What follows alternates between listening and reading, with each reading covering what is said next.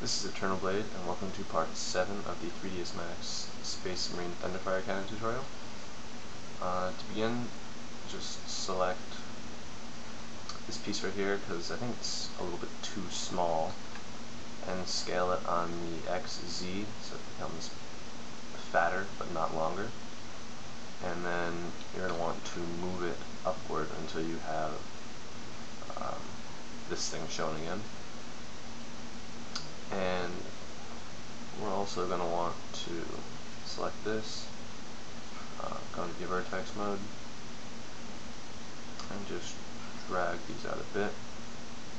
Alright. Match. Uh, actually, just select all this again, deselect that, bring that out a bit more. Alright. Uh, next we're going to just fix some more proportions. So select this, go into vertex mode, go into the top view, select this, and just drag it over a bit. Um, then you're going to want to copy it. Okay, mirror, sorry, uh, mirror on the x-axis and just drag it so it lines up with this one over here. Okay. And then just select the old one and delete it. Back into perspective. Um, yeah, it's pretty good. So now we're going to get the placement tool. To do that, go to Google, type in 3ds Max placement tool,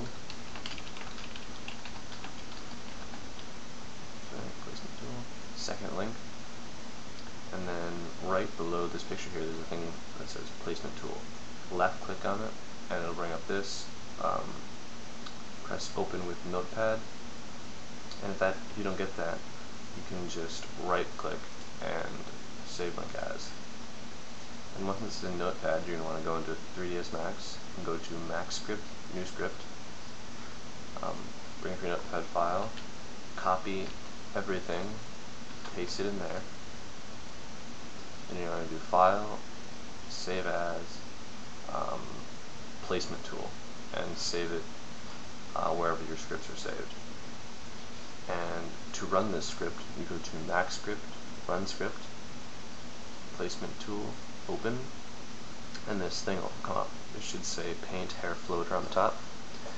The way it works is you select the object you want to place the smaller objects on. So I want to use this, press selected source, selected source, and then um, select the rivet we created last time, and say pick distribution 1, and select it again.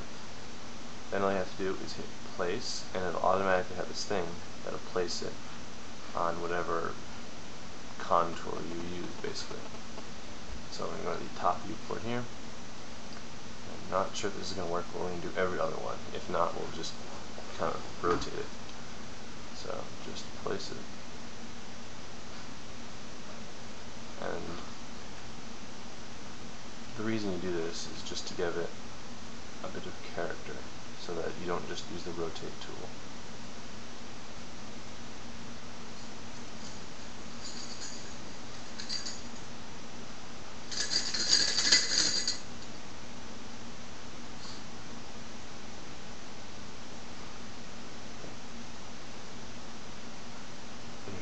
Drag it down just to make sure that it sticks.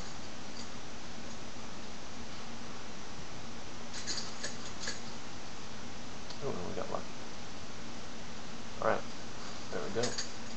Um, and you can see we have nice rivets that are placed and ready to go. Um, we can use these same rivets for uh, these things right here.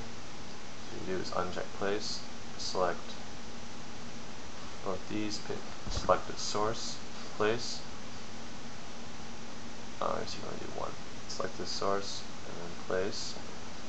And we're going to want three. So go to the top. Goes there, there. Actually, no. Um, you can close that out for now. What we're going to have to do is make the rivets bigger. So go to cylinder, top view, make sure auto grid's on, and just make a bigger cylinder.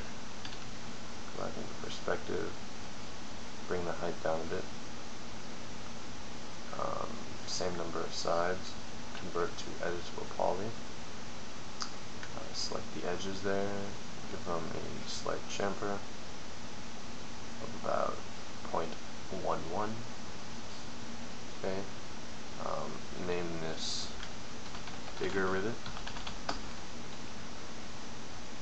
and give it the gray color. And for these we'll just copy them okay and then select the middle one. Rotate rotate rotate press W for move tool shift drag to clone press copy. Now we have some nice detail. And let's see going to the top view. Go to the vertex mode and just select these things and drag them over a bit. Go right in the middle. I think it's just too small. Okay. And select this thing and drag it to the middle go in perspective to make sure that it's uh, centered move it up just a tad since it was touching. Move it forward just a bit. Alright, there we go. Um, let's see, next we're going to want to, uh, let's just place a rivet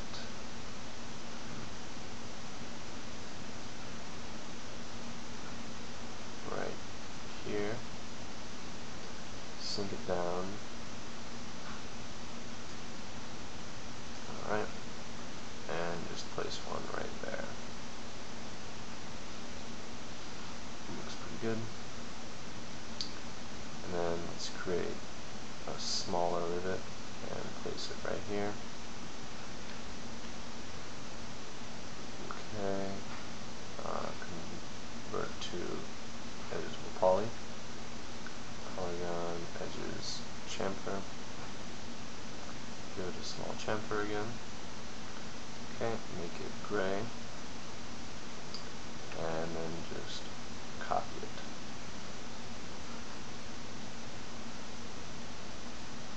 Okay.